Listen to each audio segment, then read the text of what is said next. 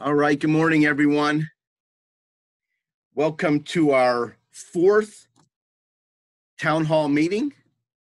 I'm Bob Mahalik. I am our superintendent of schools. I am joined today by a great, great cast of administrators, uh, teachers, support staff that are working very, very hard to uh, to get us through these very difficult, challenging times, um, and get us to the other side of this. And, uh, we are looking so forward to just having a, a great year, uh, understanding that we're up against some great challenges, and that you, as mom, dad, guardian, have some decisions here to be made that you probably never thought you'd have to make. Do I send my kid back to a school that maybe you or your children don't necessarily feel safe uh, with all that's going on with the virus. Um, and how's the best for my child to continue uh, their education? And most importantly uh, continue the the you know the rigorous education that you've come to expect uh, and deserve from the Crestwood School District. So I'm I'm very very proud of the efforts that we've put in. I'd like to introduce to you uh, our our team. I'll start with Mr. Kevin Sayre. He is our Fairview principal, um, and just about everything else in between that. Our secondary campus principal, as well as our principal of the Cyber Academy, Mr. John Gorham. I see our supervisor of behavioral health and special programs, Mrs. Beth Ann Harris Owens.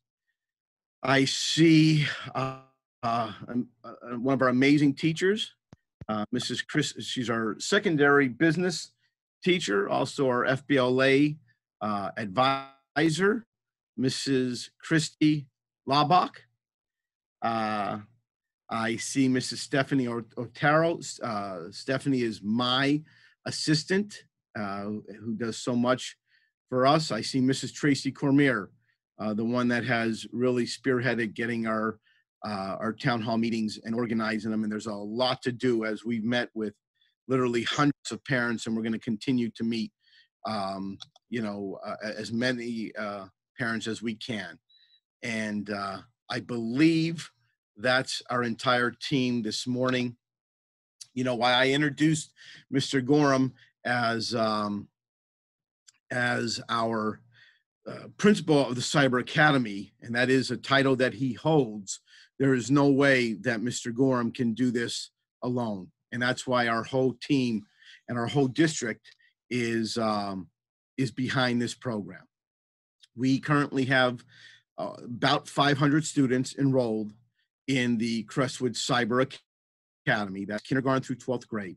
Uh, I've announced that at the end of tomorrow, we're going to hold uh, off uh, future enrollments. Now, that doesn't mean we won't take them. That means we have to stop because there's a lot of work on the part of all the administrators of making sure that we have um, that we have all of our scheduling and staffing uh, done up to that point. So that is why we gave tomorrow as the deadline. We're aware that not everyone has been able to join us for these meetings. We do post uh, these meetings, the recorded meetings, on our Facebook page as well as our YouTube page. So uh, for anyone that wants to go back and listen to something uh, that was uh, said, or if you know someone that could not make it, uh, it is available uh, on those pages. We also are following up with as many return phone calls and emails as possible. Uh, because so, some of you have very specific situations to your children, and we are trying to work with them. So those students that have special needs, that is something that you know we are looking at individually, uh, and that's something that we're going to continue. Our seniors, um, folks, you know, you, you've got to feel for all of our kids. You really do. I mean, how much that they've experienced through this whole pandemic is just it, it's numbing to me. Um, I would do anything to take it away from them, but this is our reality and, and we've got to push through this. But when you think of our seniors, I think of my seniors last year, uh, and, and I do believe we finished on a really high note with an amazing graduation and a, and a beautiful send off. But our seniors this year coming into, you know, with all the, uh, you know, all the things that they were looking forward to, and most importantly, you know, their their academics. Uh, again, no secret, we have some really, really amazing, high achieving students. Not some, um, a lot, many. Um, so our seniors, we are taking as individuals as well and saying, what do we need to do uh, again to make sure that their year is as good as it can be to prepare them for the next step. So with that, I thank you for coming. What the format will be is we'll keep you muted. Okay, that way if there's anything going on in your back, it doesn't disturb us. Um, we understand you're you, you got a lot going on, so we appreciate you just being here. If you have a question, you just go into the chat box. You can ask the question. We thank everybody. Uh, Ashita, good morning. Uh, Bonnie, hello and good morning. Uh, iPhone, good morning. Amy, good morning. So, good morning to everyone. That's how you ask a question. Um, just go into the box as I just did right there. Mr. Gorham is going to ask the questions, and one of us will answer the questions to the best of our ability. Okay. I just want to say one thing, and then I'm going to let you do the the the, the asking of questions, because so, several people have said to me, "You've been quoted in uh, some media outlets, and we've heard you say that cyber is not for everyone. That most kids struggle." I'm going to stand behind those words. And as Mrs. Harris has worked with me in two other school districts, we will tell you uh, and I've worked now over over seven years very closely with our cyber students and our cyber programs. And students do struggle, and, and it isn't for everyone. Okay. That, that's the typical experience that I've had. But I've never gone through this through a pandemic. I've never gone through this with, with the understanding that these are students that wouldn't traditionally go towards cyber programming. Because I've also said, and it needs to be very clear, that when you have family involvement, when you have people that are working together, that cyber programming could be the very best thing for students. And I've seen it save a lot of students and students that would have never graduated, students that would have never gone on to a post secondary or a trade school or a military were able to get a diploma from their school district because of cyber. So when I say it's not for everyone and that a lot of kids struggle, it's because the understanding of cyber is so new to so many of us. And even college students will tell you that when they first go into college and have their first online course, it's a struggle because you have to be independent, have to be motivated. You, you cannot procrastinate. And if you do, you can't become overwhelmed when, when um, you fall behind. So I want to make it clear because we be, we are 100% behind your decision, and we are doing everything to make your child successful. Because for most of you, you're coming back to the brick and mortar.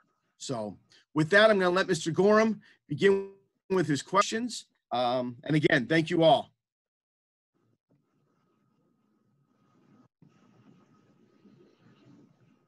You hear me okay? We got you, John. All right, good, good, good. Hold on, let me get this up here.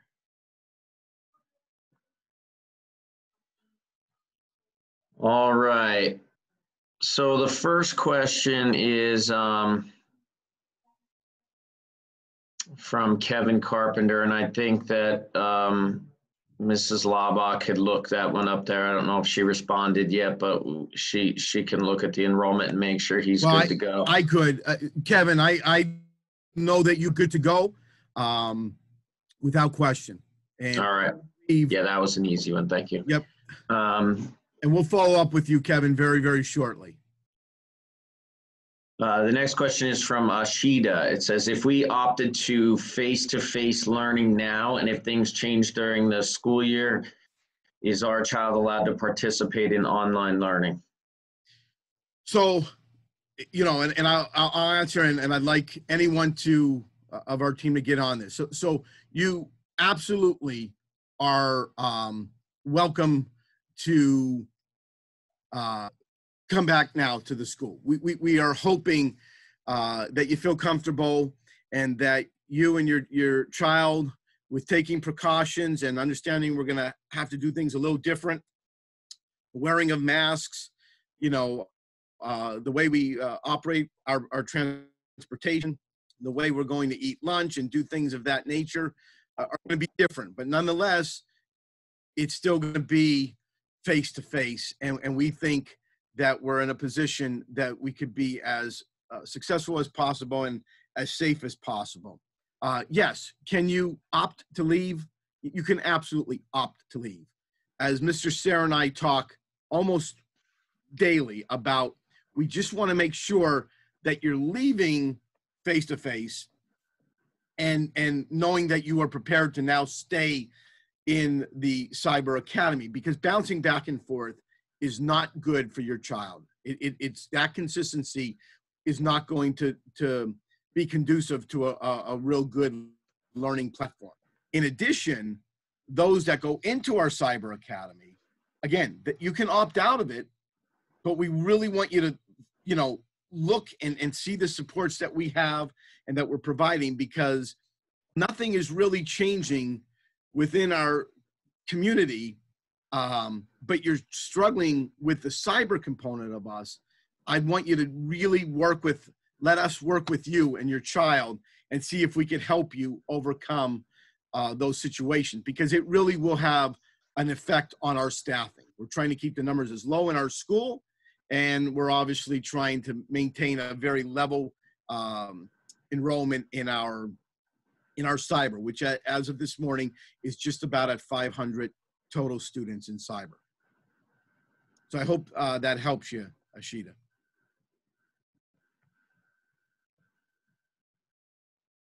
The next question is from uh, Jack in Virginia.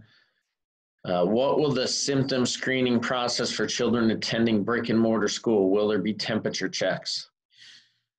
Jack, thank you for that that question. And th- we will not be doing temperature checks. We are working and being guided by several um, several medical personnel staff, infectious control uh, um, specialists, and amongst children, temperature checks are a very low mitigating um, response to this because we know in at least 40% of the of, of the cases uh, amongst children they have no fever.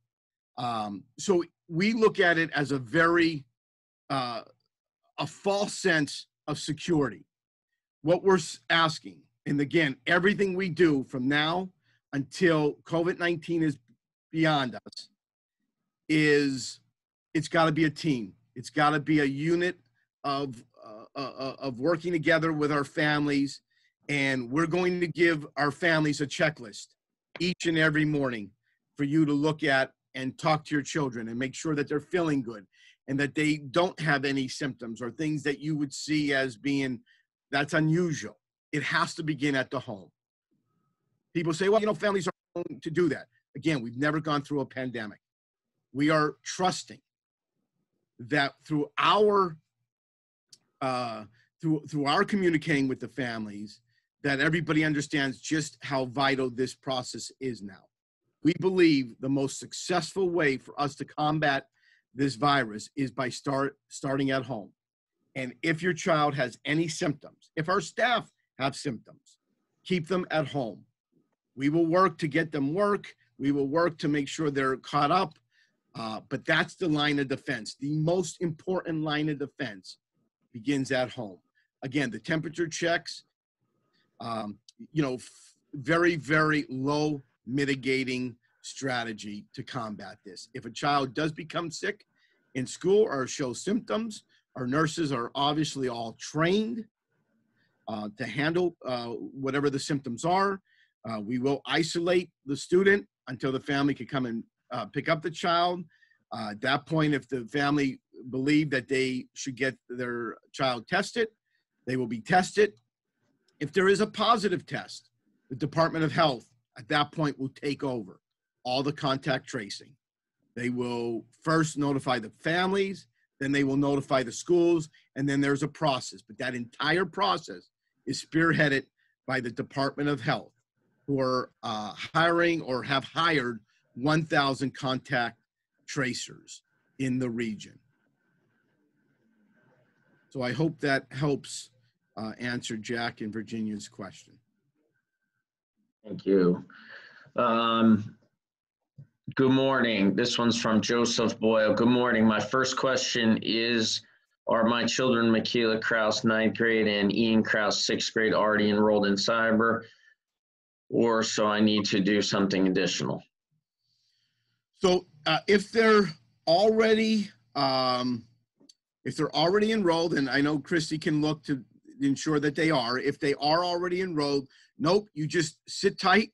We are within less than two weeks away of making sure if you ordered Chromebooks that you get them. And then that's why, again, that, that date of the 11th is so important because there's a lot of law scheduling and logistics that need to go into play. So uh, thank you for enrolling. Michaela, and uh, but there's nothing if they are enrolled, and Christy will tell us if they are, or maybe you could just let mom know privately. Yeah, I, I'm just gonna, if there's questions, if people are enrolled, I'm just answering those in the chat privately. So you'll see on the bottom, Gotcha. it's a chat just to you. Thank you. Thank All you. right.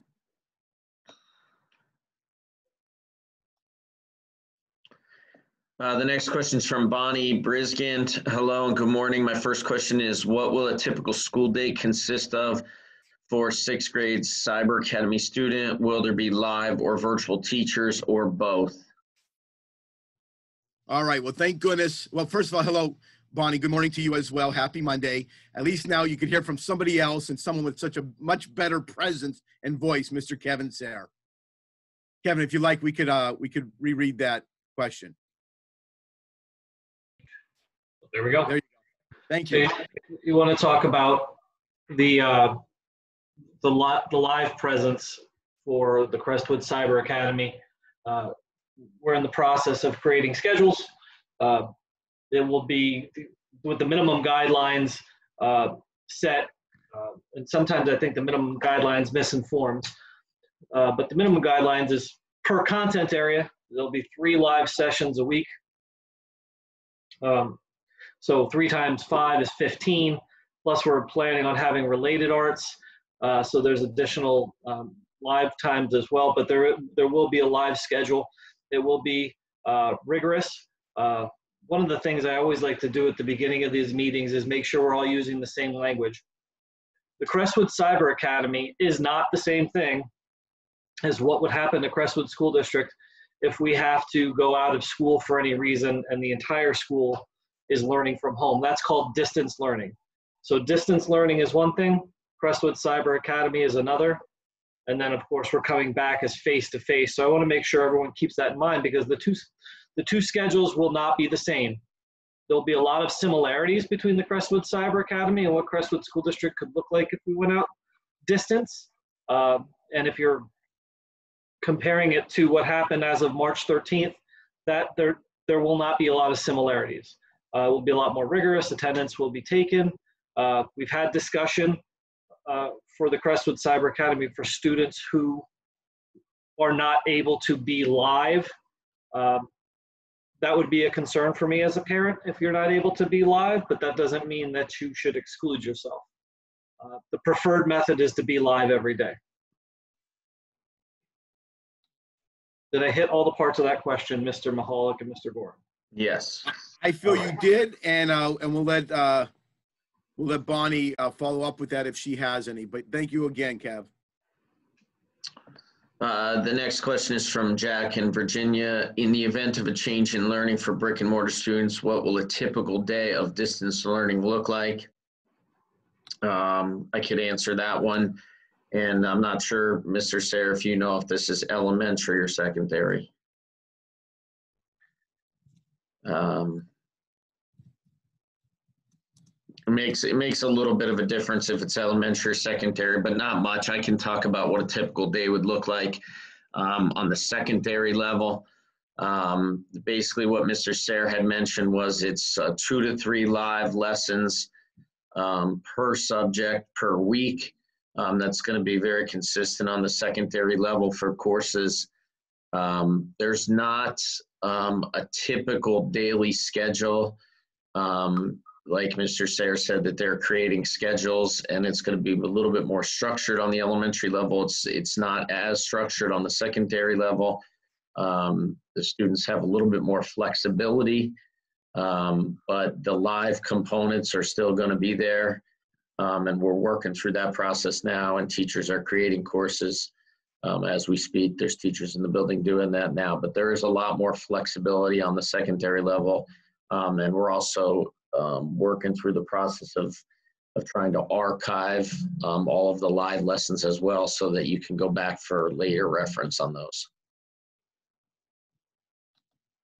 So at the elementary level, now again, this question, if I'm understanding it correctly, is about distance learning, not about the Crestwood Cyber Academy. Uh, the distance learning schedules that have been created for elementary are every day, every class uh, schedules. Uh, students have four and five times that are hard times to be online. But if there's a block of time that's 45 minutes, it doesn't mean that the teacher is going to be directly instructing for 45 straight minutes. But at nine o'clock, my first grader is supposed to be on live with his or her teacher. The teacher might have a 15 minute direct instruction lesson and then free the children to go off in his or her direction, uh, doing meaningful, guided, and independent practice through all the resources that we've purchased. The teacher could remain live, and if a child needs help, he or she could return to the teacher for that help. And there's also small group time uh, created within our schedule. So the, there's not just the live whole group times, but there's small group time. Uh, but the, one of the messages and, and my takeaways from March was that we need to make sure that we have a schedule in place in which people have some place to be so a teacher can also lead uh, our smaller K to six students to the content. They need assistance getting there. One of the other things we learned is before we start learning anything on distance, we have to learn how to learn on distance. Uh, and that's going to be something we need to do in the beginning of the school year because we need to be prepared to make this transition. So I've said at the beginning of these meetings, face to face in the elementary is going to have two priorities when we walk in the door. First and foremost is how to be, what are the new health and safety guidelines for our students? And the second thing is, what are we going to do when we have to transition to distance? So uh, that's going to be foremost on our list of things to accomplish when we get to school. Thank you. Um, the next question is from Lori. It's uh, if the pandemic is under better control after the first semester, will the children be able to go back to brick and mortar? Um, so I can answer that one. Um, if this pandemic is under control, or if at any point you feel like um, your cyber experience isn't working out, um, you can switch back to brick and mortar fairly easily um, because you still remain a Crestwood student, which makes the process a, a lot easier.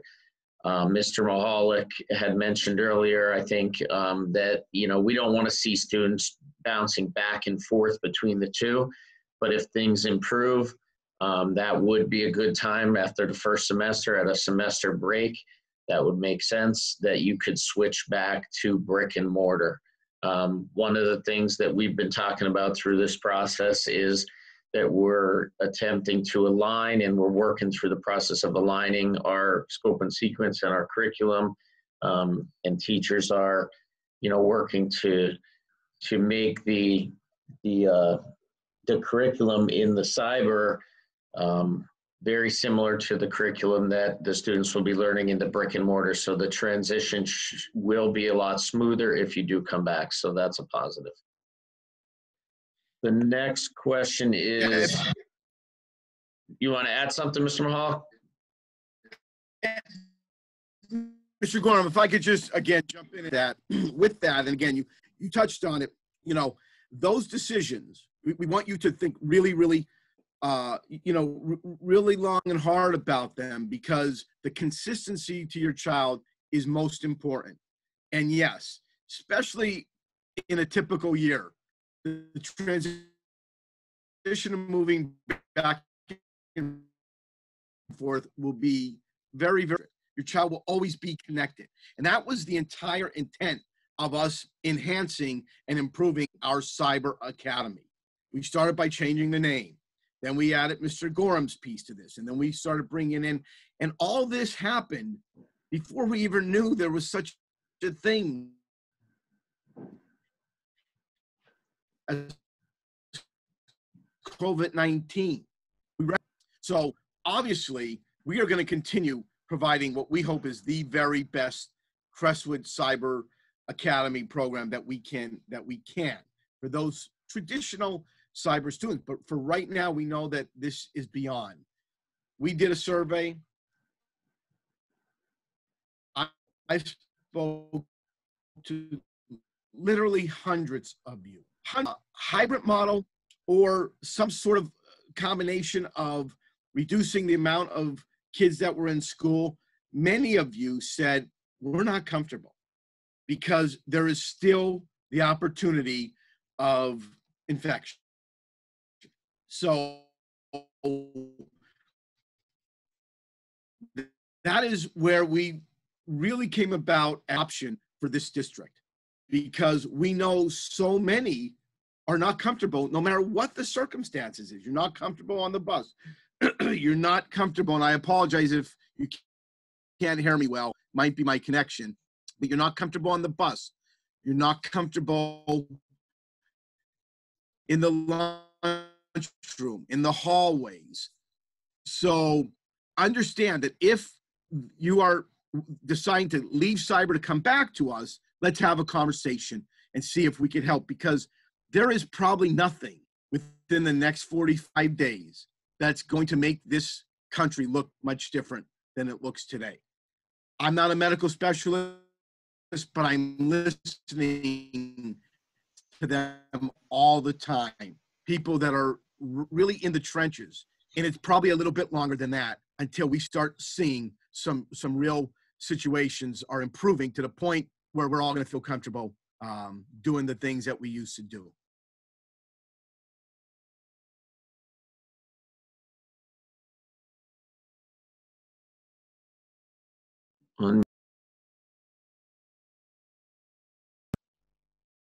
What is the link for the Cyber Academy enrollment? Um, I put the link in the chat for anybody who's looking for the link, so that link is in the chat.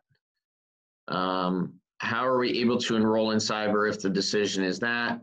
Once again, I put the link in the in the chat. All you have to do is go into that link, um, answer a couple brief questions, um, and then you will very shortly receive a confirmation email from Mr. Mahalik. Um, and uh, after that, then you're enrolled in the Cyber Academy. So it's as simple as that.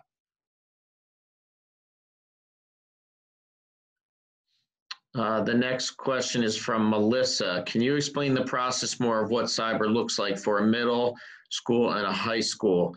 Do they have one cyber teacher teaching them every subject, or will they have multiple Crestwood teachers teaching them different subjects?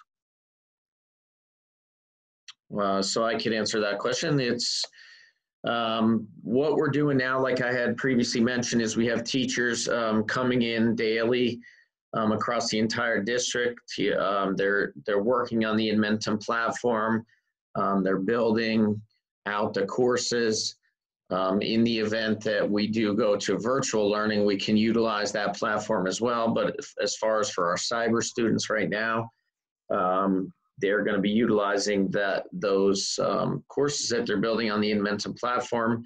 Every student that's in the cyber academy will have a different teacher um, per subject on the secondary level. So they will have a different specific content teacher um, for each subject on the secondary level. So that's grade seven through 12. Um, we're doing our best right now to staff uh, the entire cyber school, the entire Crestwood Cyber Academy with Crestwood teachers. Um, but that that's right now it's a staffing issue based on the numbers of uh, students that we have enrolled in the program. Um, there may be a possibility that we may have to have um, a few Edmentum teachers, which are Pennsylvania certified teachers in their content area. Uh, they may have to teach um, an occasional course, but right now we're, we're trying to do our best to staff the entire Cyber Academy with Crestwood teachers, uh, content specific, uh, Pennsylvania certified Crestwood teachers teaching in their content area. So that's our goal right now. The next uh, question is from an iPhone. It says, will you look to use the Cyber Academy as an interim solution for in-school students uh, during school closures? So, um, Mr. Sayre, you want to answer this one? So I, I think I mentioned it previously that the Crestwood Cyber Academy is not what we go to in the event of a school closure. We go to our distance learning model. And yes, we, we pull from a lot of the same resources, but they're not identical um, services and they're not identical offerings. There are a lot of similarities. You know, when you're using the same resources and you're working toward the same PA core standards, and the Crestwood Cyber Academy is using a lot of Crestwood teachers who understand the path that we normally take. Uh, so there, there's there's certainly a lot of feel, and to you know to go back to the purpose of the Crestwood Cyber Academy, it, it has a lot of different purposes. It, it began uh, when Mr. Gorham was named the Cyber Academy principal to service our traditional cyber students, which, by the way, last year Crestwood had 25 of our own traditional cyber students. It has evolved this year to, to accomplish a lot of purposes. One purpose is a bridge back to face-to-face learning for all the people that have enrolled. We believe that the 425 to 450 people that have enrolled do not intend on being cyber educated for the long haul in their educational careers. This is a bridge to when you feel like you can come back to our campuses safely. So I, I, I give some of this background because it's why we developed parts of our cyber academy to look the way it does for this year because we believe we're meeting the needs of what people want which is a connectivity to crestwood so when they do return it's as seamless as possible what i have to clarify to people is 2020 2021 will not be crestwood crestwood school district's banner year for education on the face-to-face level on the cyber level on whatever level there's so much unprecedented interruptions to learning that takes away from what we've practiced and perfected over the years. That doesn't mean that I promise you that we're going to do less or try try less hard. It's just as an educational institution, you thrive on schedule, routine, and evolving slowly over time. You find me an educational institution that's jumping around from the, the latest, greatest thing over and over. I'll show you one that's struggling. So we have solid practices in place that we've perfected over the years. We are moving at a, at a breakneck speed to create a Crestwood Cyber Academy. I believe we're going to do a great job. Uh, but make no mistake about it, we're developing it to feel Crestwood face to face like, but the distance learning option is literally created to mimic our day just at your home. So that's the slight subtle difference in the two. That was a little long-winded and I apologize, but I thought some backstory there. I do believe that the Crestwood Cyber Academy in 2021, 22 won't look like it does in 2020, 21, because there'll be far less enrollment. We'll be back to more of the traditional cyber approach, which families need for a lot of unique reasons. Thank you. All right, the next question is, let's see where we're at here. If our child, this is from Amy, if our child is enrolled in Cyber Academy, should we still send in the transportation sheet? If things better within the pandemic, are children who are in cyber able to return to school?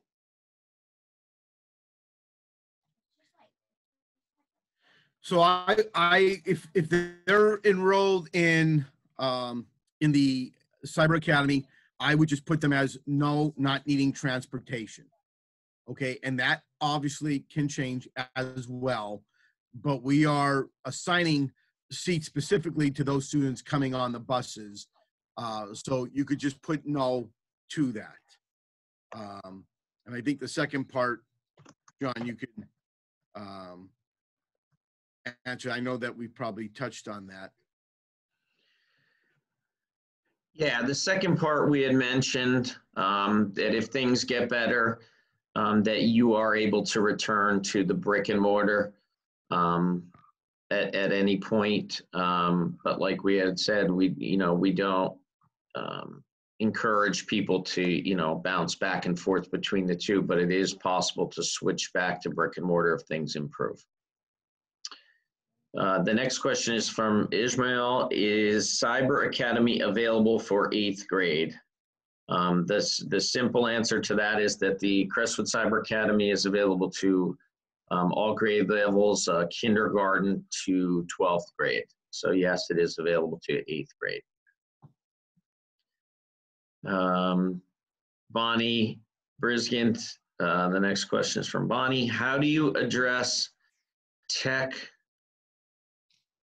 uh, okay, technology slash server issues if something should occur during instruction, and who do we contact for that?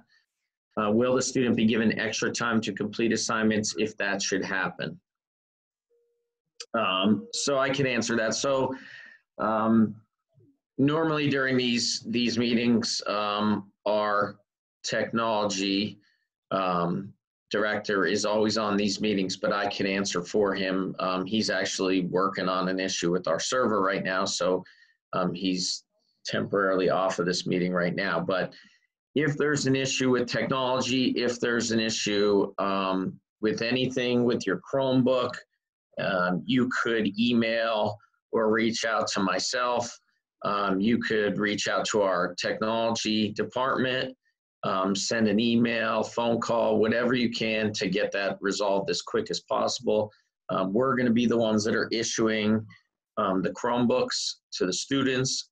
Um, so it'll be us that is going to be handling those issues in house. Um, if there is an issue with technology, um, that that would definitely allow you to have extra time to complete assignments if that should happen. Um, depending on what grade level you're at, um, if it's on the secondary level, um, like I said, there is some flexibility with the courses. Um, so if it's just that you're going to be down for a day, that shouldn't be an issue. But if it's for any length of time and it and it does interfere with your learning, um, you know, we would reach out to the teachers and let them know that. Okay.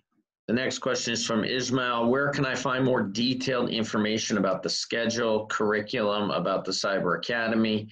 Is there a web page dedicated for Cyber Academy? Um, so I had right underneath his message, I had created a link there for the enrollment.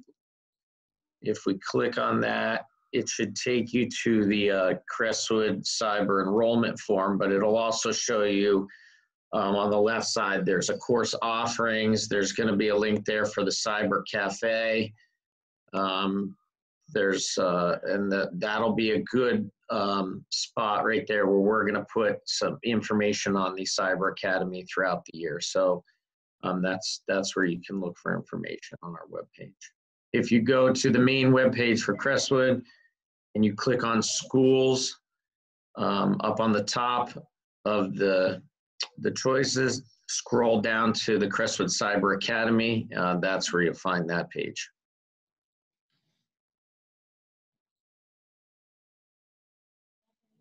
Uh, the next question is from Mehelos. Will the kids have books to work in along with the Chromebooks? So I'm not sure if this is elementary um, or if this is secondary. Um, that may have a slight difference in the answer. Um, and Mr. Sayre is free to jump in here with the elementary response. Um, on the secondary level, uh, I can speak to this that it's the entire program for, for cyber um, is what we call web-based.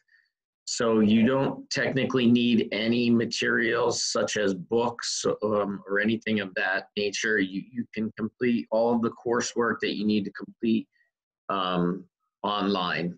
Um, if there is any supplement and any materials that, that need to be issued, just by chance, if there's anything, since it is our courses and our teachers for the majority of the courses, if there's anything that that we wanted to distribute, you know, per class, that would be provided to the students. So that would be something that we provided, um, and that would be on an individual basis. There will be materials distribution in the elementary. It's, it's important for our K to six students, the younger you go, to have something uh, physical, and tangible with them. So again, that's going to be, when people are asking what the day would look like, it is very hard to paint the picture of what every single day would look like because it depends on the level of uh, the level of self-sufficiency of, of each grade level can achieve. And what kindergarten and first grade can do out of the gate is not going to look the same as what it would look like down the road. But in those grades it's very important that the teacher have live interaction and it look and feel as much like the students are in front of him and her as possible you know one of our goals is going to be to not make the crestwood cyber academy be reliant upon the parents make no mistake about it, kindergarten, first and second grade is going to require parental support, especially in the start, uh, especially until routines are, are mastered and processes are in place that are efficient and effective. So part of that comes out of the question, which is that's why resources, especially in the younger grades, are definitively necessary. Thank you.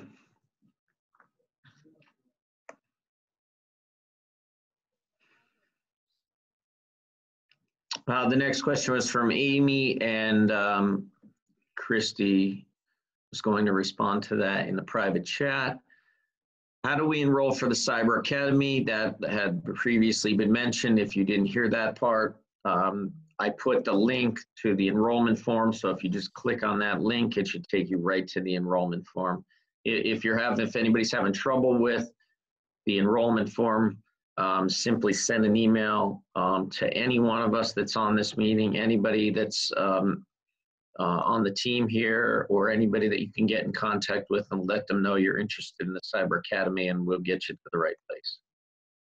Uh, the next question is from Wendy. Um, was wondering if the cyber school is going to be like the previous online learning to where my kids were expected to go on about five different websites to complete their work.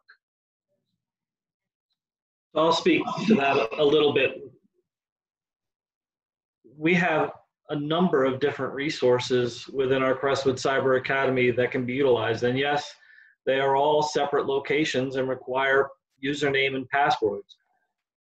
Part of the process when you develop something like this is, is we're mindful of it. We have to get organized right from the start and provide families with access to routine and procedure that organizes such information.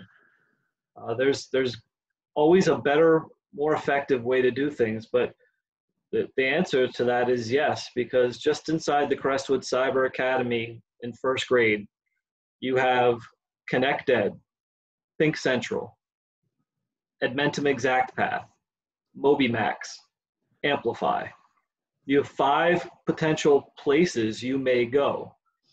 We have a plan in place to utilize Google Classroom as our hub. And from there, you hyperlink to those different places. So again, in the, the spirit of getting organized and getting better, we have created a one-stop shop. We also know that we have to then house our grades somewhere. We have to house our assignments somewhere and we still have our Skyward access. So I do understand and appreciate where that question came from because as of March 13th, we were all of a sudden doing something we'd never done before and we were trying to keep it meaningful, keep it engaging. And in order to do that, we tried a lot of different resources.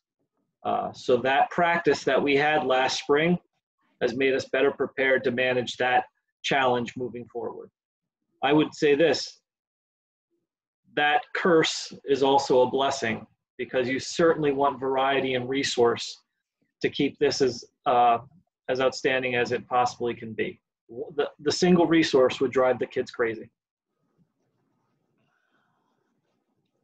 Thank you. Uh, the next question is from Ishmael. How many hours of live sessions per day in Cyber Academy? Um, so Mr. Sayre touched on that earlier in regards to the elementary, um, and I can touch on that for the secondary. Um, what we typically say is, uh, you know, two to three uh, live sessions per week uh, per subject. Um, so in the time, the minimum time, you know, and we'd like to see the our Crestwood teachers exceed this. The minimum time that you know cyber uh, learning um, says is a good amount of time online is uh, live sessions is about um, well correction the, the, the amount of time per course that you should be working is about 45 minutes per course per day. As far as the live sessions, it's a little bit different. I apologize for that. Um, as far as the live sessions, that could vary. Um, it's not necessarily going to be in hours, um, but it's going to be in numbers of live sessions per week. So what we're going to, you know, push our teachers for is two to three per subject per week. But in terms of hours, um, you know, that would be unrealistic to say that we were going to have teachers doing hours and hours and hours of live sessions. And like Mr. Sayre had said, you know, that would bore the kids to death if they had to sit there and listen to, you know, to their teachers give live sessions. So it's, it's not going to be in terms of hours. It's going to be more of in terms of how many times they have live sessions per day, per week. And if Mr. Sayre wants to add to that, he could jump in, but I think we covered everything there. I think it's a good idea to give people some perspective, maybe. So Mhm. just uh, let's look at third grade last year. A third grade student had direct instruction. You know, when your content is being delivered to you, uh, approximately for three to four hours. However, inside that time is what's called facilitated learning. You have comet time, you have your specials, recess, lunch. So I think it's important to consider the co- compare an apple to an apple. When we're talking about looking forward now to Crestwood Cyber Academy, if you're asking about live time in which someone is interacting in a Google Meet face to face with their educator versus time in which now I'm a student who's off inside the resource getting meaningful engagement. You have to remember what your your distance resources look like, your cyber resources look like. When I'm interacting with a text in a cyber format, there's questions along the way. It can reread it for you. If you get something wrong, it automatically defaults to a reteach. So I don't know what you consider that time or and, and to frame these questions, are you looking to know how much time will there be face-to-face interaction, login time with that human being versus how much time then will my child be in front of a computer screen working through content? So um, these questions, there's a lot of uh, there's a lot of subtlety in, inside these questions, a lot of context inside these questions, and I don't want to misinform anybody. You know, communication is great, and we're doing a lot of communication as Crestwood School District. And one of the things I've learned about communication is you do just as much miscommunication as you do effective communication in forums like this. So uh, I, I just want to make sure we're answering the spirit and the heart of that question, which is, are you looking to know this face to face like this? Are you looking to know the amount of time someone should spend on a computer in a given day? So uh, I, I hope I'm helping to clear some of the things up. And by all means, just put right ba- back into the chat. Uh, nope, try again. All right, thank you. Um, Will music, art, and band instruction in cyber still be held? And that question is from Lori Lukaszewski.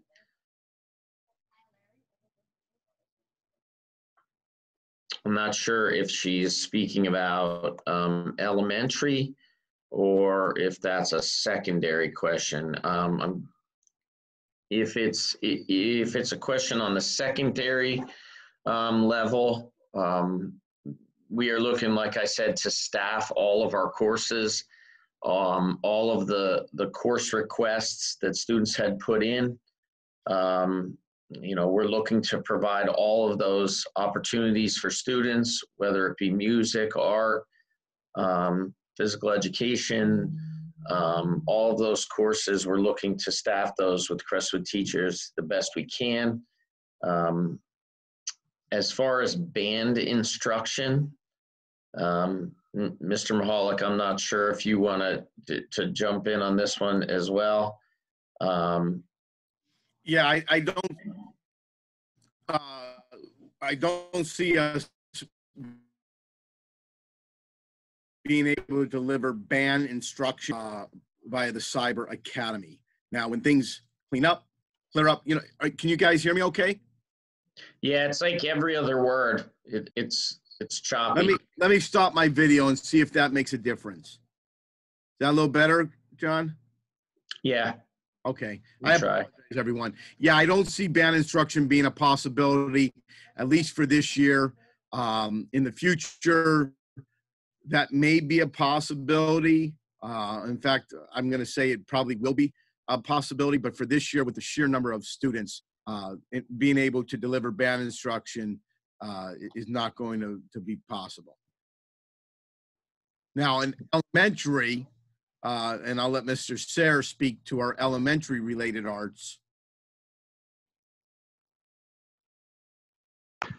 We have plans for music and art and physical education will be done through journaling and, and be very much self-guided. Uh, but we plan for live music and art uh, delivered by one by one person uh, to all of our K to six. So the frequency of which that happens, uh, we still uh, have to map out and is still in the construction phase. Thank you. Um, the next question says, uh, good morning. This is from Jennifer. Um, what is a typical day like? Would the kids be sitting in front of a computer all day?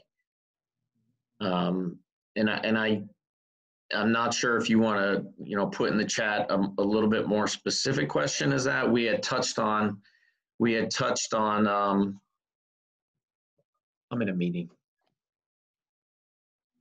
Um, we had touched on, um, you know, what the, what a day looks like, um, on the secondary level. Um, and Mr. Sayre had, had touched on the, you know, the different platforms that they're going to use on the elementary level.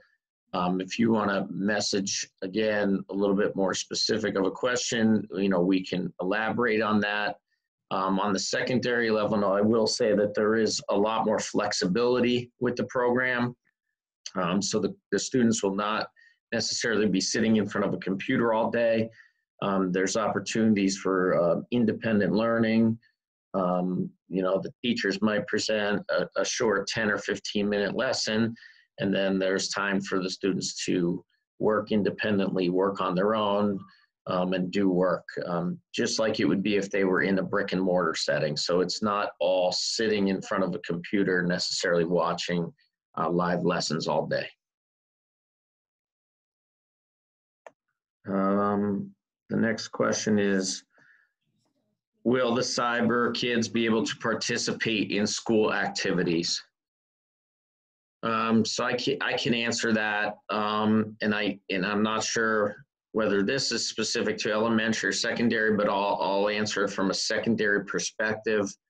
Um, it it could be a slightly different answer. So cyber students are able to participate in um, sports um, on the secondary campus um, and you know any other activities that we offer you know sports is was one that comes up quite frequently. Um, but within reason you know we have to be um, be aware of the social distancing factor um, and a lot of the students that chose the cyber um, the and the families that chose it chose it for the reason that they're fearful during this pandemic of coming back to school. Um, so a lot of the activities are going to be, you know, difficult for us to to manage um, those aspects. So, um, you know, within reason, you want to be careful of what activities you choose to allow your students to be part of, but they are welcome to be part of any activities that we do offer on the secondary campus. Um, they are able to be part of the Crestwood, um, you know, the, the Crestwood family. They're, they're still a Crestwood student, so they're welcome with all those activities. Uh, the next question is from Bonnie Brisgant. Will there be much homework assigned on the Cyber Academy? And do the other teachers see what homework was assigned from other teachers so they don't over assign or overwhelm the student? Will they have enough time to complete each teacher's homework assignments?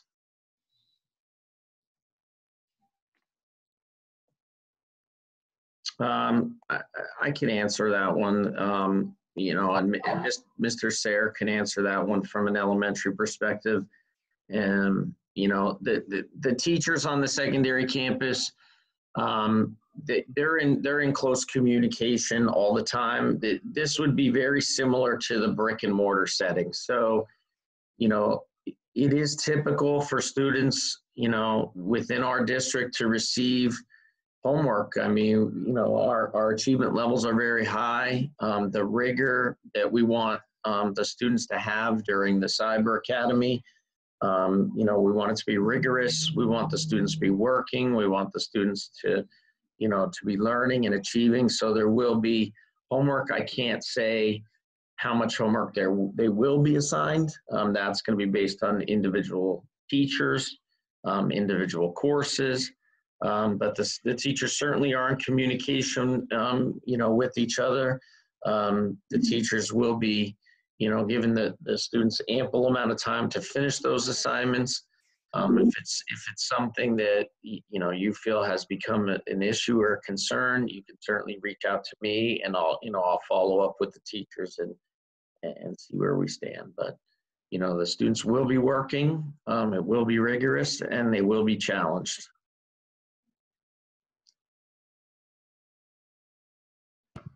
Uh, the next question is from an iPhone. It says, I know it must be difficult to determine the spacing for the in-person students um, until you definitively know the numbers for in-school versus cyber. Do you have an ideal feel for spacing set up for in-school yet? Yeah, not, good question. At this point, it's looking like three and a half feet is uh, the least amount of space we're going to uh, have available. Uh, some spots, it's less than that, like in our computer rooms. And in those cases, we have uh, purchased uh, plastic sh- uh, shields, dividers between each computer on each side of the student.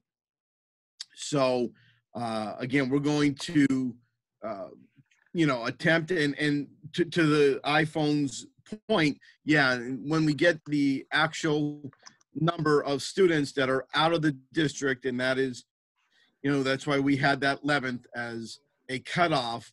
Uh, that will really help us to gauge what the classrooms look like and really, uh, you know, go into our staffing so much greater. So in those areas, computer labs, especially on the secondary level where we, we know it's impossible. Those computers are locked in, pre-wired, uh, hardwired.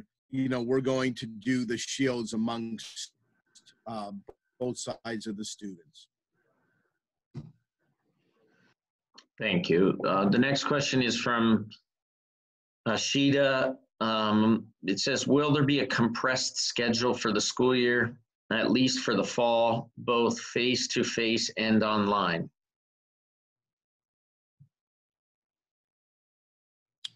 Uh, n- n- our schedule will be, will be the same, same a- as it's been. Yeah, I'm not sure, Ashita, you know, what the specifics of your question are. If you want to repost that in the chat. Um, I'm gonna take Or- a swing or- at that one, if I could. So one of the questions, you know, face to face, our schedule is our schedule. We've, we're, we're maintaining, but our distance schedule, uh, in terms of compression, we obviously have had conversations and have built these distance schedules.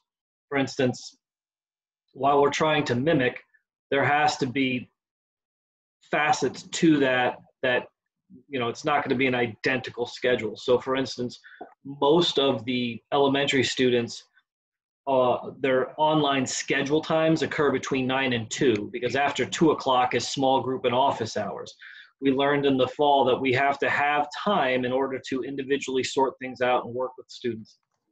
So we've had discussion at the secondary campus about running some sort of a delay schedule as well.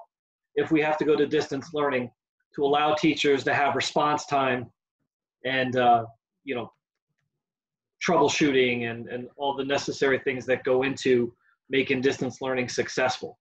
So there could be a, a shorter time window within the day on the distance learning schedule in which your live presence is. It won't stretch out from the secondary campus. I think you walk in the door at 7:15, you walk out the door at 2:35. It won't be stretched out along all those hours. It'll be the live time uh, will be in, a, in that will be compacted a little bit. Thank you. Uh, The next question is from Steve. Is distance learning only available if the school or specific classroom is closed? What specific enhancements will be made to distance learning from how it operated last school year?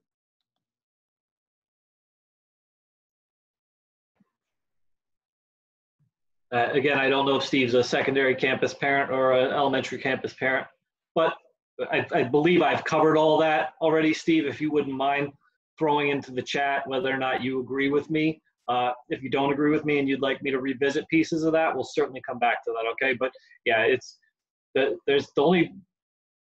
Oh, thank you. So the only thing uh, that's going to look similar from the spring to now is that we'll be, if we are distance, we'll be at home.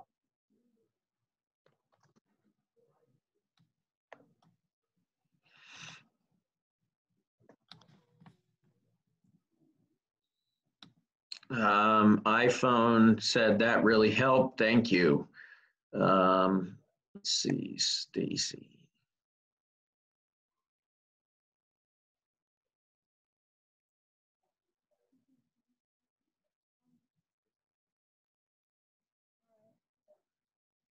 For social distancing school, what would a normal week look like? Five days a week, compressed times?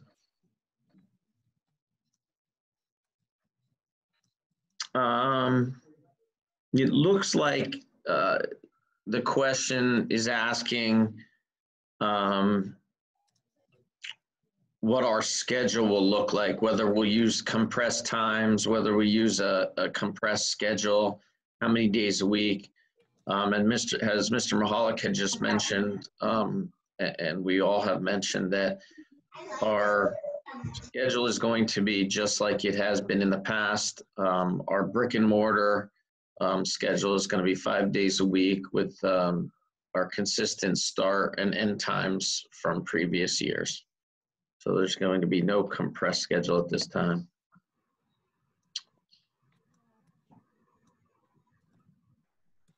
This question is going to be for, for Mr. Sayre. If I have twins that are starting kindergarten together, would they be aligned with the same teacher and schedule? parents of twins at the elementary level are always permitted to request together or separate.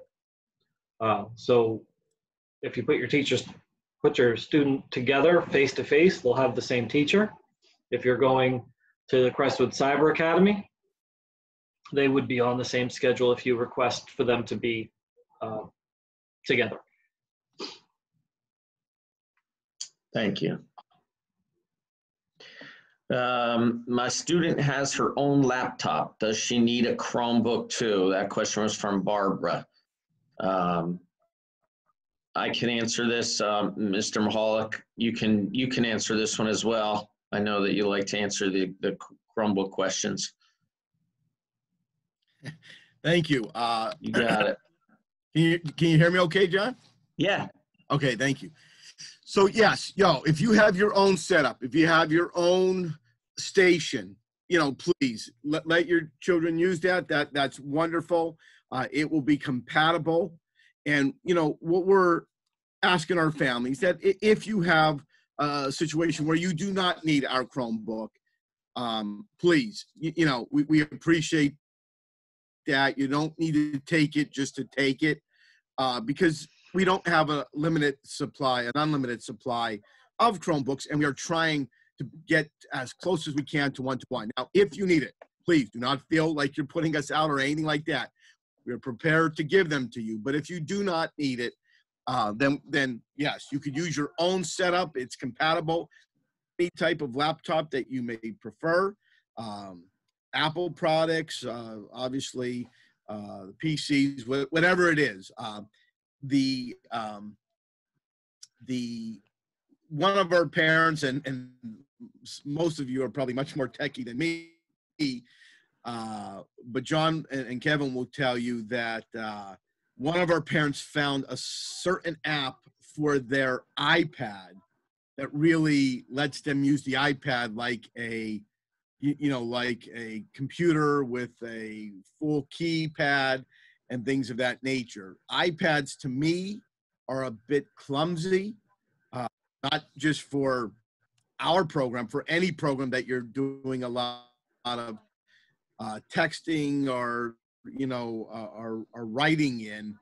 But uh, we did have a parent uh, show show us about a special app that iPad has. So um, I hope that helps. And please, if you need follow up on that as well, I could connect you to our director of technology or Mr. Gorham, who again is much more, uh, much better at these than me. thank you. Uh, The next question is from Jack in Virginia. As a follow-up to my prior question, can you please elaborate as to how the day will look for elementary school students, specifically second, fourth, and fifth grade? How is the day different from distance learning versus cyber academy? It was stated that distance learning will mimic the typical brick and mortar day, but what does that specifically mean? Will it be a synchronized day or asynchronous day or a hybrid? Can you go into more detail how new material will be presented for elementary students?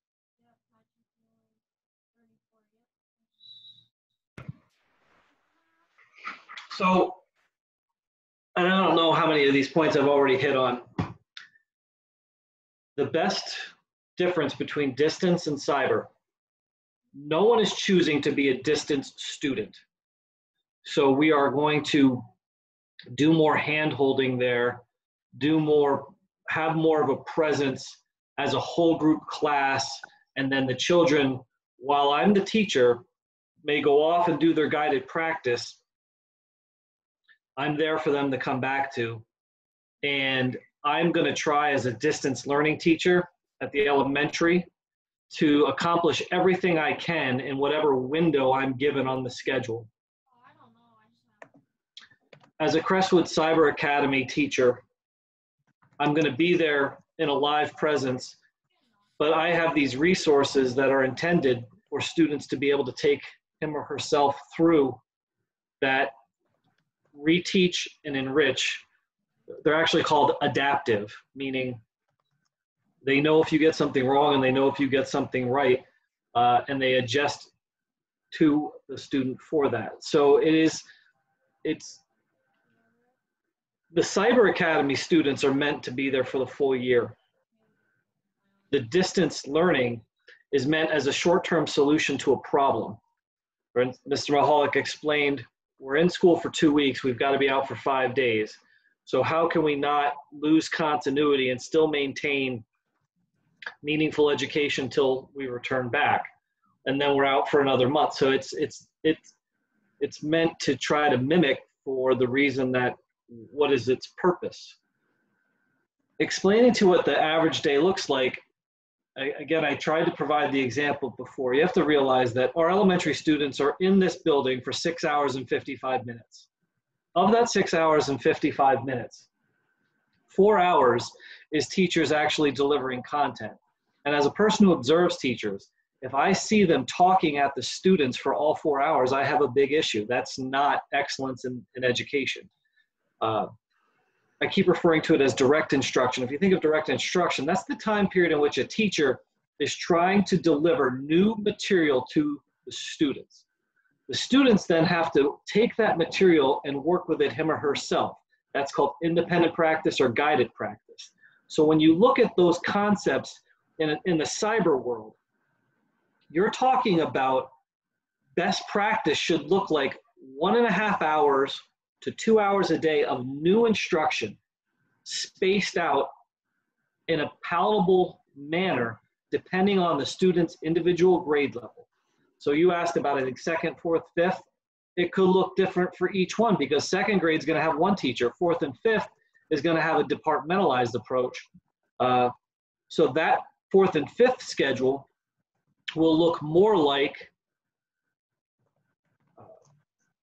set times for each content area, whereas the second grade teacher is going to use a lot of small group within their day. In a small group scenario, you get more what you need depending on what you need. If your child is really good at going through and navigating the resources on his or her own, once given the direction, it could look like less time than another second grade child.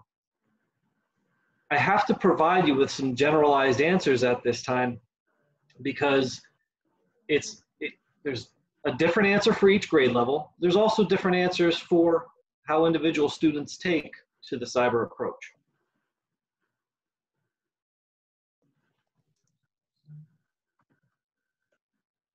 Thank you. Uh, this question is from Amy. When will the Cyber Academy students enrolled in Crestwood Cyber get the Chromebook and will books and supplies be supplied for elementary students? Um, go ahead, Mr. Sayre. You want to take this one as far as supplies for the elementary students?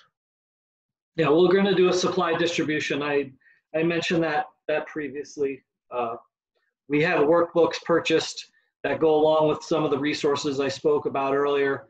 Um, And depending on the grade level, it will depend on the amount of actual resource we send home. But there will be some form of tangible resource sent home K to six. Thank you. And as far as the uh, Chromebooks, um, we're setting up a schedule um, to distribute the Chromebooks that the, the first round of distribution should be coming sometime within the next couple days. So just uh, sit tight. We'll be getting that schedule out to everyone when you could uh, pick up your Chromebooks. Should be coming up this week. Uh, The next question is from Jennifer. Uh, What will the physical distancing and safety measures be like in the brick and mortar elementary schools, class size, etc.? Yeah, I'll answer this, Mr. Gorham. So we, uh, again, you, you know, depending on the amount of students, that's going to determine the uh, space we have in the classrooms. Mr. Sayre, myself, and a group of uh, teachers have began that process looking specifically at a classroom. Most of our classrooms are the same uh, space uh, uh, per square foot. So looking at 24 students being in a classroom, you would have uh, about three and a half feet uh, per student. Um, in addition to that, whenever they are going to lunch or areas like, uh, well, lunch and breakfast, we will have them in a, a position where they will be more than six feet apart from their classmates or anyone uh, so that they can eat, obviously, uh, with, with without any inconvenience. We are going to utilize the outdoors more frequently, not all the time, as much as possible in larger spaces. Uh, we're going to again have to just really maximize every ounce of our buildings. Uh, we know that coming on the buses, we're going to have two kids per seat. We know that's you know an area that we're concerned about. However, what we're going to require is masks on the bus. Masks in the school, face coverings uh, will be able to be worn. That is made comfortable to the kids. We will have face shields available to the kids.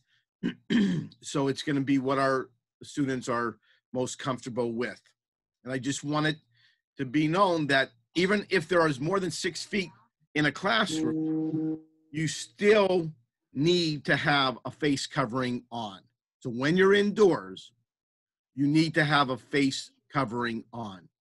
The six feet, which again the CDC has scaled back from, uh, and the Department of Health, that is definitely the re- recommendation. Uh, but it's also where you can and, and how you best can. But the mask will need to be worn no matter what. We will take them off when they obviously are eating uh, or things of that nature. So I hope that helps.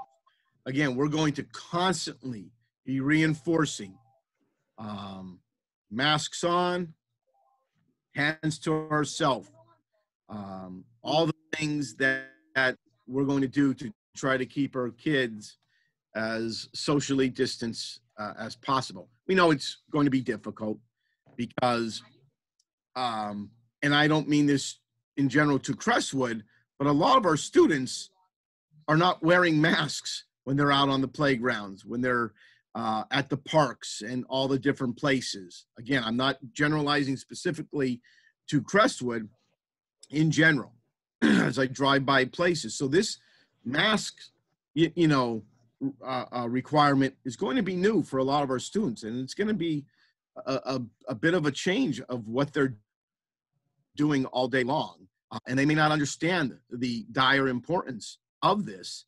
Uh, so we're going to reinforce it constantly. And we're going to ask families, please reinforce this um, because it is one of those uh, ways to minimize any spread of this virus. All right, thank you. The next question is from Steve. It says, I realize things are very dynamic, but for brick and mortar education, what is the policy for face masks? What are the exceptions? Will any activities instructions be temporarily discontinued or handled significantly different? Recess, phys ed, music, lunch, etc.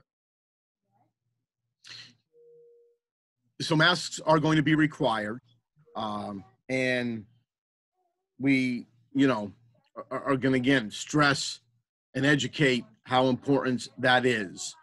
Uh, we are going to continue to look at all the areas of our school, and we want to obviously uh, have kids participating in phys ed and recess in those areas as much as we can outdoors, uh, because we know that outdoors is is definitely um, a much lower uh, threat to spreading any sort of germs or or contamination.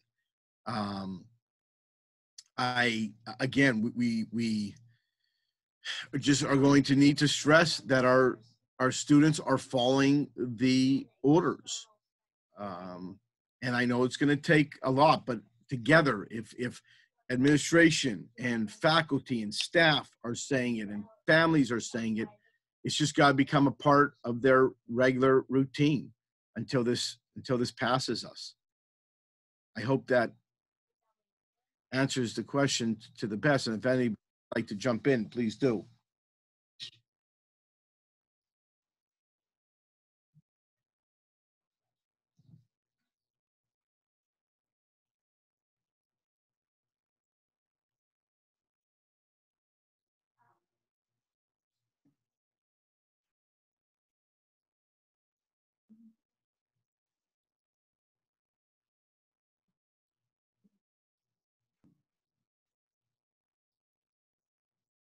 Okay, John, you could take it from there. Yeah, I'm trying to find where I'm at here. Let's see. Okay. Um, how are tests administered through the Cyber Academy? Also, will sophomores still have the option to take the PSAT if they are enrolled in cyber? Um, so like I had previously mentioned, um, you know, tests will be um, administered through the Cyber Academy based on individual teachers. Um, every every teacher, you know, has the ability to handle their class the way they would like to. It'll be, you know, similar to how it is on the uh, in the brick and mortar setting. Um, you know, and the the same type of uh, you know amount of tests per quarter and per year will be very similar, but every teacher will handle that a little bit differently. Um, also, the the PSATs, um, you know, students um, who are in the Cyber Academy are welcome to take the PSATs. Um, they could, uh, if we're offering them here, they could come in, take them. They can take them at another another location. So they are they are able to take the PSATs if they're in the Cyber Academy. Um, the next one is from Antonella. Good morning, all. Will high school students stay in the same classrooms or are they allowed to transit from one class to another?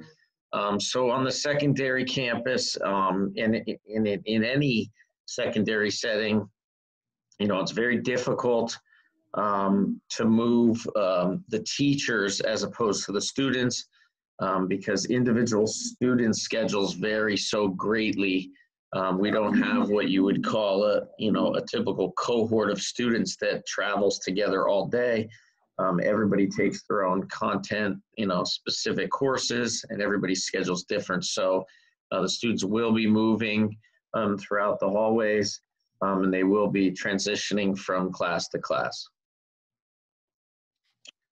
Uh, the next question is from the Carpenter family. I assume live time will not have a student scheduled for two different course live times at the same time. Um, uh, on the elementary level, that, that that's an easy answer. Um, unless there's uh, some grade levels that are going to be departmentalized, um, and they would not have the same live time um, as the other teacher um, on the secondary level.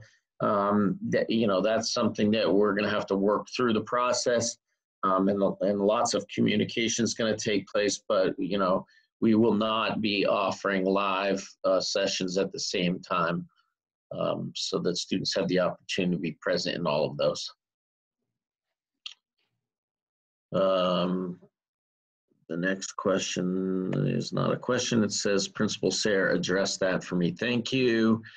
Um, in light of Governor Wolf, this question is from Laura. In light of Governor Wolf's recommendation that K through 12 sports not occur until January 21st, will Crestwood be having fall sports? Um, so uh, Crestwood right now um, has not changed their stance on sports at this point. There has been no no decisions have been made um, no changes to, to the previous um, plan prior to the governor's announcement.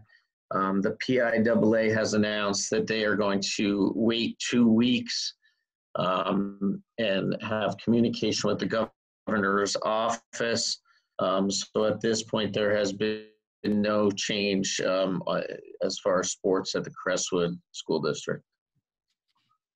Um, the next one is from Bonnie Brisgin. You, uh, you for your time in answering my question. That's all for me today. Appreciate all you're doing. Thank you again. Have a good day and week ahead. Thank you, Bonnie, from everybody.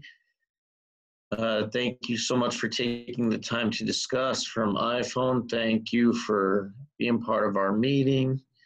Um, Ashita says thank you.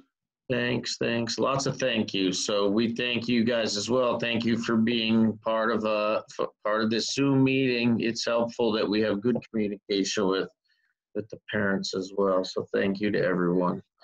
Um,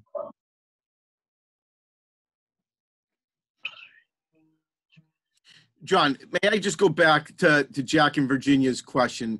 Because I don't think, uh, is there any plan in place for brick and mortar students to have breaks masks can be removed. Uh, I don't know that I answered that. I- I- Kevin, did you, were you able to answer that? Which, question? Let me see. I don't, I didn't, Jack in Virginia asked, is there any plan in place for the brick and mortar students breaks where masks can be removed? So I, I think I gave an answer, but I don't know if it was direct enough. I apologize to Jack and Virginia. Yeah, that, again, we are going to utilize the outdoors, you know, as frequently as possible. Uh, phys ed classes will be outdoors, recess outdoors. Anytime we can, uh, you know, get to the outdoors, we, we certainly will. For parents worried about the safety and security of being outdoors, we've always utilized the outdoors on all of our campuses. Each of our camp has security. Um, so that's that's not this is not a new process, uh, but it just may be that it's more frequent. Uh, there are nobody allowed on our uh, campus during the school day. So those that like to walk and exercise, we certainly enjoy opening that up to our public. And and um, but that's not something that uh, is allowed during the school day. So um, so yes, we are going to you know look at uh, utilizing the outdoors as much as we can. And in terms of visitors to the school, again, we're going to be restricting visitors to the school. Uh, if you need to pick up your child or drop something off, you will do all that at the front of uh, the entrance. If there is a reason for you to have to come into the school, and there are going to be times that there's an essential visit needed, uh, then we will certainly make sure you're masked, escort you in, and, and escort you back out when when that is over. Um, all meetings will be virtual next year, so parent meetings, uh, those type of uh, things that we normally did face to face. Uh, and again, we're going to look at how we hold uh, open houses, meet the teachers, and things of that nature. Uh, there will be no uh, activities going on in our schools. You know, we closed down the rental process of the district for this year, or at least until we are in a better uh, position to uh, to say that okay, we, we can now open that back up. So, you know, there are a lot of steps that we are taking and will continue to take uh, to try to minimize uh, this to the greatest, you know, possible extent, uh, knowing that you know things are going to happen, and I don't know that any of us should believe that if we do have a positive case, that that's a failure of the school district. I do not. I won't look at it like that, and I don't think we can because we know um, that that is likely going to happen. It is minimizing uh, how often that happens and how much of a spread that there is.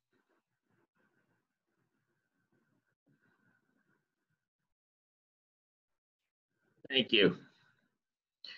Um, let's see, the next question is. I'm skipping over a lot because there's a lot of thank yous. Uh, We you we appreciate, and you said this already, Mr. We appreciate every one of those thank yous because we, again, are doing this because of knowing how many questions and how much uncertainty you have. Um, this is not a task for us. This is not, oh, we've got to do another one of these. We've got to answer that question again. It's not that. It's wanting every single one of our our public, our our our parents to have their question answered. And if I have to answer the same question 685 times, then that's what it's going to take. You deserve that. And, you know, we're, we're, we're, prepared to do that because it's important for you to feel as comfortable as possible. Um, so, again, that's why I'm so thankful to my staff. Um, and I'm thankful to you, our families, for your patience, flexibility, and understanding that there's no, you know, there's no playbook for this. We can't look back on, well, how did we do this last time? You know, you know, there's really just us putting our heads and hearts together and knowing that we don't want any kid or any staff member to be in any greater risk than they need to be. But we also don't want anyone to, to, to miss out on some of the important academics. And, and that's such a great balance. And I think, again, Mr. Sayre said it, said it wonderfully before that, you know, it's not going to be like it was uh, but it's going to be the best that it can be. And there is not a better cyber option for you because this team is is so so invested in your child and their outcome. They're not a number, they're not a name, they're not a paycheck. They're our students, and we care so deeply about getting us all through this and putting us together again in a in our traditional school where we all just are, are worrying about what's for lunch today. And man, I really don't like their chicken nuggets. I got to bring my own. I can't wait to that day again. But until then, we're with you every step of the way. There's a, there's another question that I missed. Um, what about students enrolling in cyber that want to go to VOTEC?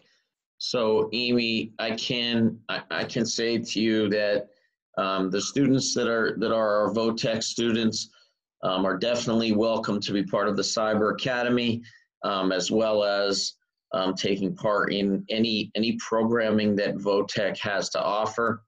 Um, Mr. Mahalik and myself have a meeting tomorrow morning um, with the with all of the directors and the principal from the VOTEC. So we're going to have very you know specific and clear guidance as to what that process is going to look like with VOTEC. Um, at this point, we understand that they're they're going to be having traditional you know schooling at the VOTEC, but we'll have some some more answers tomorrow. So if you want to reach out to us privately through email or a phone call um, you know, sometime tomorrow or later in the week, um, we, we can answer any questions you might have about that. But you, you definitely have the opportunity to be part of VOTEC and the Cyber Academy. So that's all for the questions, uh, Mr. Mahalik. Um, just a lot of thank yous. Um, and like uh, Mr. Mahalik had said, we, we thank you for your time as well. Um, um, think if anybody has any follow-up questions to the meeting, um, they're welcome to reach out to any one of us on, on the team.